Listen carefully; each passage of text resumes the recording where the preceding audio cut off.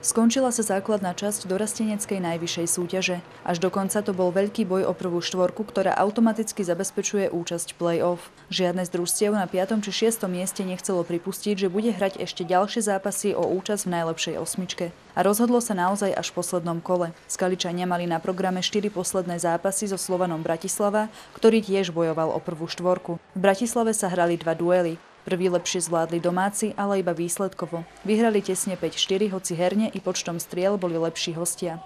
Druhý bol opäť v réžii našich hokejistov a tentoraz sa k ním priklonilo i šťastie.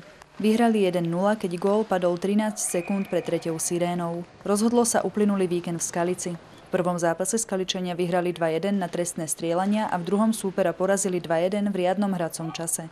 Po základnej časti skalickí dorastenci obsadili druhé miesto a budú tak mať veľmi dobrú pozíciu v play-off, ktoré sa začína 5. marca.